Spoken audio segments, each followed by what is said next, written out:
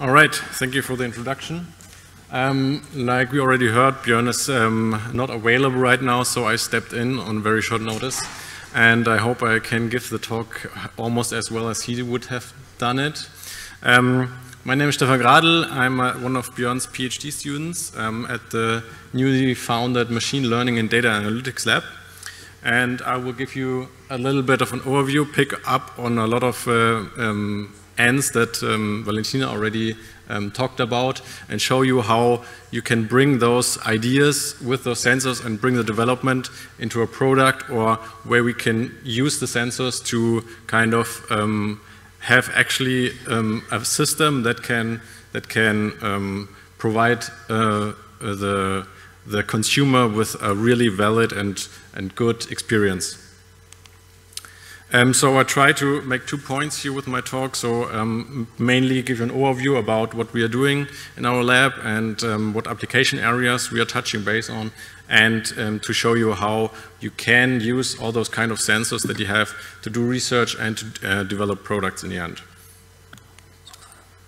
Um, we are based, our university is based in Erlangen, and as you can see, it's uh, about 10 minutes by car to Herzogenaurach, so we um, work in very close collaboration to Adidas. And um, Björn has his, like I said, his, uh, used to have his endowed professorship from Adidas for six years, I think now. And um, yeah, if you want to know more about his uh, success story, there was a, a, kind of campaign in our local area where you can read through through his um, through his uh, career.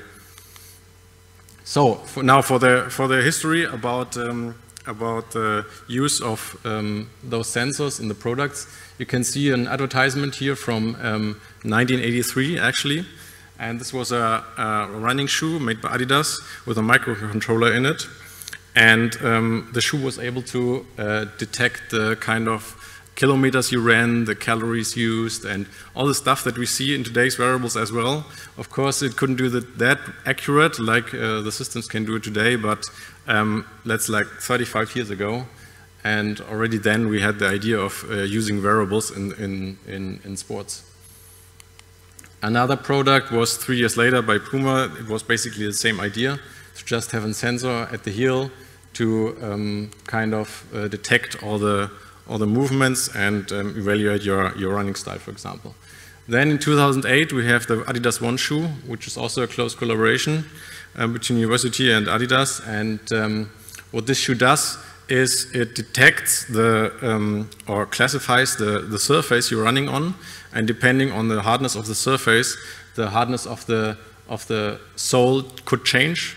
So that you're when you're running on, for example, very hard ground, then your sole could get softer, and vice versa. And this is a very good example of an embedded classification problem where on the microcontroller we, we just detected and how, how, how hard that, uh, the, the underground was. Now, to, um, in 2011, all those systems are already kind of integrated. We have a lot of more detail, a lot of more precision in the data, and we can collect uh, all the data almost unobtrusively. And um, yeah, from that, from that history perspective, I want to go to a short overview of the group. So what we are uh, mostly working on is like the, the data mining area and the wearable systems area. So we kind of produce algorithms that we can use in wearable systems to, for example, classify stuff or detect stuff, for example, like a Z and with a shoe, the, the surface of the ground. We not only do this for sports applications, but also for, for biomedical applications. We have a very good collaboration with the University Hospital in Erlangen and also with the sports science experts who really only do the sports science part, and of course the industry um, this is very tightly linked, and we have a lot of uh, our people who actually work in, in those locations, for example, in Sports Science Institute, to really bring all that, that knowledge uh, together. Um, now, our vision is basically that, that we measure the, measure the data with the kind of research tools analyze it, develop some individualized algorithms, and we had it already. The, the trend goes to the individualized coaching. So the idea is to kind of uh, create from a lot of training data algorithms that could help uh, a person, the consumer, for example, to get an individualized coaching and uh, to bring this to a final product which can then be used by the consumer to improve himself and uh, the, enter the cycle again. For example, if we collect data with a consumer product, we can use it again in, for example, a big data approach to even further um, improve that. Okay, now um, a short overview of the, uh, the, state of the art in the wearable computing field. So um, we have the, the wearable technology. This is kind of all that there is. And um, we are kind of in this field here, this kind of small area for sports and fitness. And what are the main applications? Of course, the, the sports performance, fitness monitoring, and like I said, which is coming up right now is the in, individualized coaching and the virtual coaching, mm, where you can really deliver products that, that help the individual user. Uh, you can see those approaches already in the commercialized devices, um, like the, the wristbands or the, the watches or the glasses or necklaces. There's all kinds of stuff out there. Um, and as you can see in the, in, the, um, in, the, in the trend, that the trend is going up. So um, we expect that in five years, for example, the, the amount of sold devices in the wearable market will double. And um, there are several different approximations, but all say it will go up. And um, the revenue will probably even more than triple. So this is really a very important market, and what you have to keep in mind that, that you, for us as researchers, we shouldn't only think about the research, but also about what gives the consumer a good experience and how can we merge that good science and good user experience into a product. So what are the driving forces for, for the technology, um, for the wearable devices? Um, of course, we, we get a lot more processing power in the, in the, in the, in the small devices, in the embedded systems. We can um, use algorithms on embedded devices that 10 years ago we needed a supercomputer compute them. Um, we have a, a, very good connectivity of the devices. We can connect pretty much anything nowadays, especially with Bluetooth, uh, which is almost present everywhere nowadays. And of course, the, the batteries especially get, uh, get smaller and the, the whole hardware systems get smaller. We can put the, the hardware into the clothing without the, without the um, user uh, knowing about it. Um, the main trends is, like I already said, the, the personalization, the individual coaching, and of course, uh, a trend was the, the, or is still the quantified self, the live logging. Everyone uses those big um, platforms where you can get in your data and see how you perform compared to others. Um, but uh, we have to think about the challenges that we face here. So um, one of the one of the main challenges is that um, we will see a shift in a paradigm shift in the in the data consumption. So um, right now, that a lot of stuff that we do with our wearables, we look at them, right? So we have a watch, we look at the watch. We have a smartphone, we look at the smartphone. You know, so um, that's the current state, and in I don't know 10 years, for example, we will shift, or 15 years, we will shift to a to a very highly context-based um, data conception. So for example, if you think about augmented reality, that you do not have to look at your wearables anymore, your wearables are in your field of view.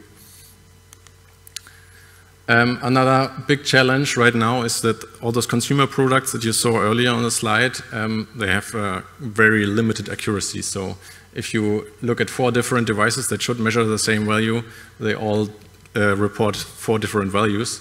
And so probably everyone is, isn't really right.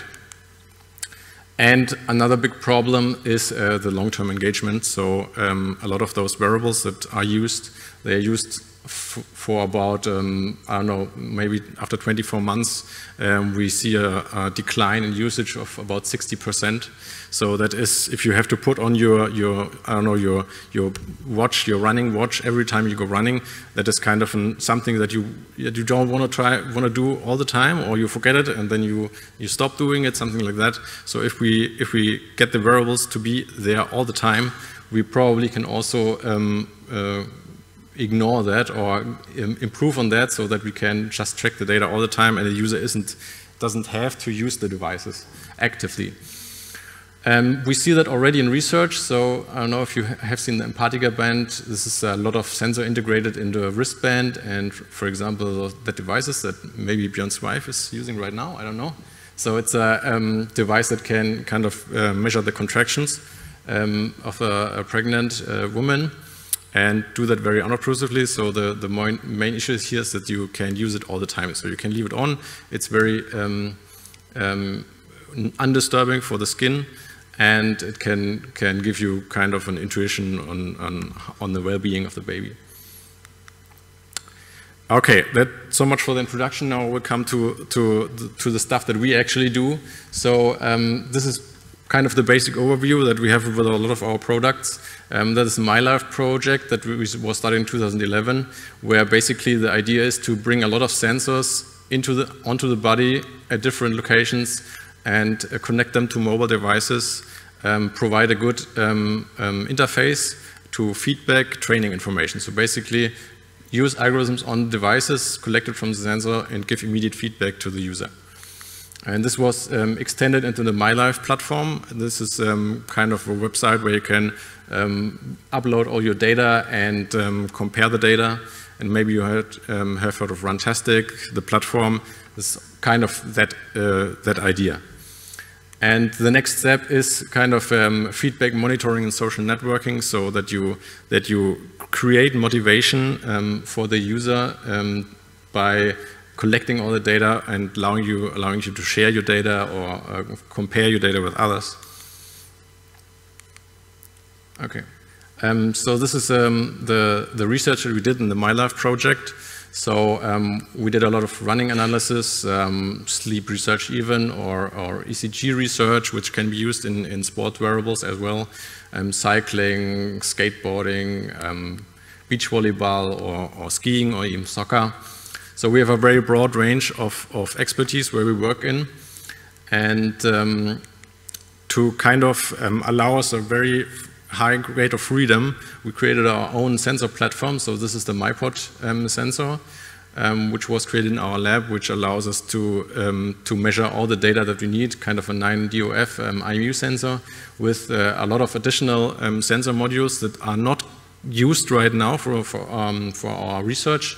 Um, but they are already in there. So we collect the data and maybe in a later, later step we can kind of find some connections between other sensor data that we haven't thought of and um, yeah, find, find new links.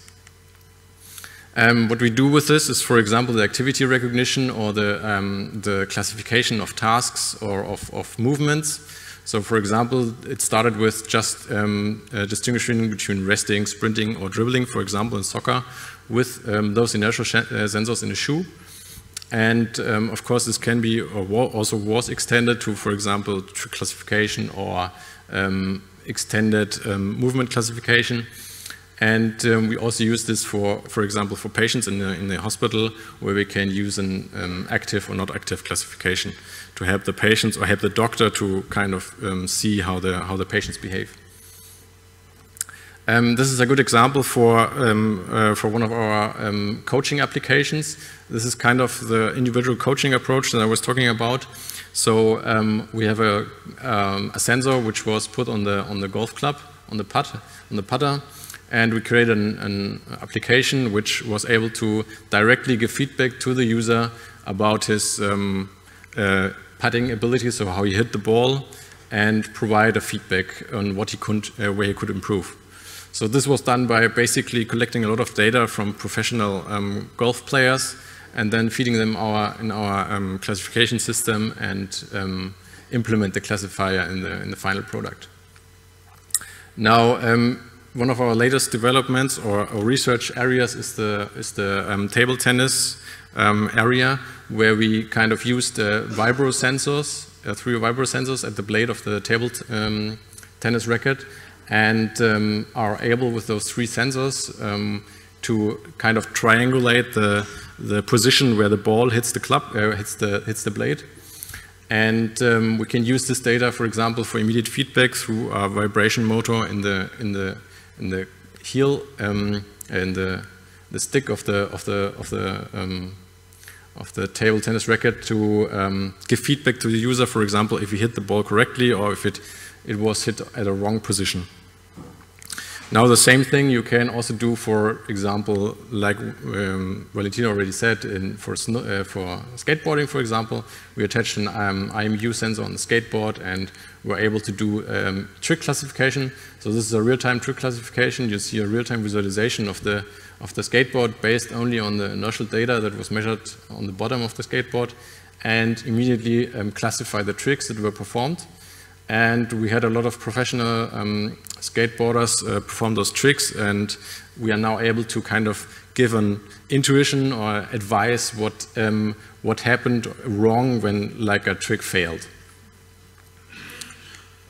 The same um, can, of course, happen for, for, for snowboarding. Um, there you can also classify the tricks that a snowboarder does. And for example, this is also something that Valentina already mentioned. If you um, have an, someone, a person with an IMU attached in the air, you see a zero uh, velocity phase. You can see that here. So as soon as in the air, you have a zero velocity phase in the, in the accelerometer. And you can use that, for example, to just um, calculate the air time which is um, for the for the um, snowboarder quite interesting to see if he if he when he uses a different technique technique whether he improves or not. And actually, there was a, a, big keynote from Intel where they tackled exactly that field, so snowboarding um, wearables, where you can um, use them to, to improve your, your, your snowboarding. and this also made it into an IEEE Spectrum article. Now, um, another field that we work in is the, is the uh, field of soccer. So, for example, we use um, inertial sensors attached to the to the heel of the um, of the shoe or the ankle of the of the foot, and um, you can see a quick overview of the workflow that we do. So, this is the kind of um, development part where we um, use those research equipment sensors, put them in the shoes attach them to the soccer player and let a professional or very good soccer player um, do some, um, yeah, some tasks or shots, for example, or running. And the idea in this project was to um, find kind of high activity areas, so classify um, regions where, where uh, interesting activity happened, for example, a trick where a soccer player performed a trick, and uh, this was all done kind of um, in a research environment.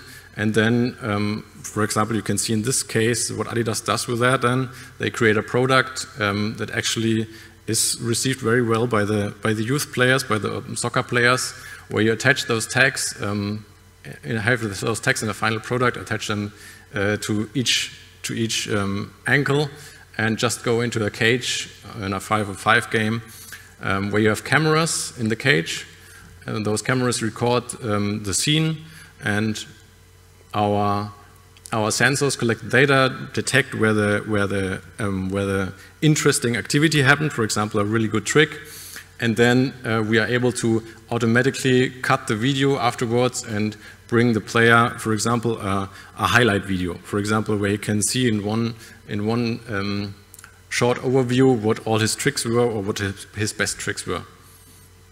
And this is a good example of how research actually can make it into a final product um, uh, uh, in a collaboration project. Unfortunately, we don't have sound here. The sound was quite cool, but uh, anyway. Okay, so um, a similar approach um, with camera-based tracking uh, can be done, uh, was done in this example, where we um, uh, uh, used or implemented a, um, player tracking and a ball tracking for beach volleyball. So um, based purely on video data. And um, this was later then enhanced. You can see the tracking here.